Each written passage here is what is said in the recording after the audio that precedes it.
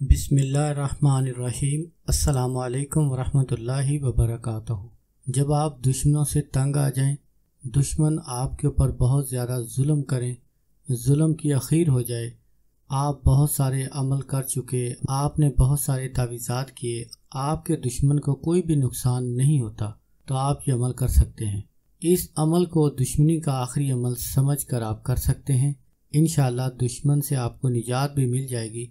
और इस अमल की ताकत और बरकत से दुश्मन की चीखें निकल जाएँगी। दुश्मन जितना भी जालिम हो, जाबिर हो, बहुत ज़्यादा ताकत रखता हो, चाहे आपके पूरे शहर में, इलाके में, मोहल्ले में उसने कहराम बर्पा किया हुआ हो, कोई उससे लड़ने की, कोई उससे बात करने की ज़रूरत न करता हो तो ये अमल उससे बात करने की ज़रूरत भी करेगा और उसको जलील और रसवा भी करेगा। अगर दुश्मन अपनी दुश्मनी में हद से ज़्यादा बढ़ जाए, मामला इज़्ज़त तक पहुँच जाए तो आप ये अमल कर सकते हैं। हर तरह के ख़तरनाक दुश्मन को ख़तरनाक मौत मारने के लिए भी आप ये अमल कर सकते हैं। पहली बात तो ये है कि अपना और अपने दुश्मन का मामला अल्लाह पर छोड़ दें। लेकिन फिर भी अगर आपका दुश्मन बाज नहीं आता या आपको बहुत ज़्यादा मजबूर करता हो तो आप ये अमल कर सकते हैं। ये अमल आप हफ़्ता या मंगल के दिन दोपहर बारह बजे करेंगे। अमल से पहले आप हसब तफीक सदका अदा करें, उसके बाद नीम दरख्त के सात पत्ते ले लें। नीम के सात पत्ते लेकर आप उन पत्तों के ऊपर दुश्मन का नाम लिखें। काले मार्कर से लिखें तो ज़्यादा बेहतर है। काले पॉइंटर से लिख लें, जो चीज़ आपको आसानी से मिल जाए, आप लिख सकते हैं। दुश्मन का नाम और उसकी वालदा का नाम लिखें। और नीचे लिखें गरक शुद्ध अगर पत्ते के ऊपर इतना नाम लिखना मुश्किल हो तो आप एक नाम के ऊपर दूसरा नाम बार बार एक दूसरे के ऊपर नीचे लिख सकते हैं, इससे कोई फ़र्क नहीं। नाम अगर मुकद्दस पाक नाम होंगे तो आप नामों को हरफ हरफ करके लिखेंगे। अगर आपके दुश्मन का मिजाज आछी हो तो आप नामों को हरफ हरफ करके लिखेंगे। अगर बादी हो तो फिर आप मुकम्मल नाम लिख सकते हैं। भी हो, खाकी हो, कोई भी हो तो आप मुकम्मल नाम लिख सकते हैं। अगर आछी मिजाज हो जलाने वाला अमल करना चाहते हो तो फिर आप नामों को हरफ हरफ करके लिखेंगे, ताकि कोई भी मुकदस नाम हो तो उसकी बेअदबी ना हो।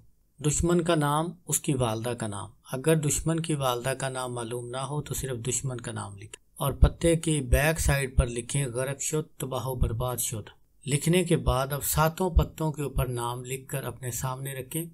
उसके बाद हो सके तो अपने करीब नीम की लकड़ियों की आग जलाएँ। और एक हज़ार मरतबा सूरत का अवसर पढ़ दें। सिर्फ़ एक दिन का अमल है। पढ़ने के बाद आखिर में कहें कि फ़लाँ बिन फ़लाँ तबाह बर्बाद हो, फ़लाँ बिन फ़लाँ हलाक हो, फ़लाँ बिन फ़लाँ बीमार हो। जो आप उसको मर्ज़ लगाना चाहते हो तो उस मर्ज़ का नाम लें। जो भी उसको तकलीफ़ देनी हो, उसका नाम लेते हुए उन पत्तों के ऊपर फूंक मार दें। अगर आछी मिजाज दुश्मन है तो आप उन पत्तों को आग में जला दें। अगर बादी मिजाज हो तो उन पत्तों को आप छत के ऊपर रख दें। चाहे वो हवा से उड़ जाएँ, कहीं पर भी जाएँ, उसे कोई हर्ज नहीं है। आप हवा के ऊपर रख दें, छत के ऊपर रख दें। बादी मिजाज हो आबी हो तो आप इन पत्तों को दरिया या नहर में बहा सकते हैं। दरिया या नहर करीब ना हो तो आप किसी बोतल के अंदर पानी डाल के उसके अंदर ये पत्ते रख दें। उस बोतल को अच्छी तरह बंद करके छत में, धूप में कहीं पर भी रख सकते हैं। अगर खाकी मिजाज हो तो आप इन पत्तों को ज़मीन में वीरान जगह पर कब्रस्तान की जगह कहीं पर भी दफन कर सकते हैं। एक ही दिन का अमल है। इन एक ही दिन के अमल से आपका दुश्मन जलील और रसवा हो जाएगा। बहुत मुजरब अमल है। कामिल यकीन और तवज्जो के साथ करें। अमल की इजाज़त के लिए मेरे साथ मिलकर दरूद पाक पढ़ें। करोड़ों दरूद सलाम हमारे प्यारे नबी हज़रत मोहम्मद सल्लल्लाहु अलैहि वसल्लम पर जज़ल्लान्ना सैदिल करीम असैदिल आज़म सैदना मौलाना मोहम्मद अलैहि वसल्लम, मा हुआ अहल हो मेरी दुआ है, अल्लाह करीम आपको, आपकी फ़ैमिली को अपने हिफ्ज़मान में रखे। जिन लोगों ने मुझे दुआ के लिए कहा है, अल्लाह करीम उनकी तमाम दुआओं को कबूल फरमाए। अल्लाह करीम उनकी तमाम मुश्किलों को आसानियों में बदल दे। आमीन या रब्बुल आलमीन। अस्सलाम वालेकुम वरहमतुल्लाहि वबरकातुहू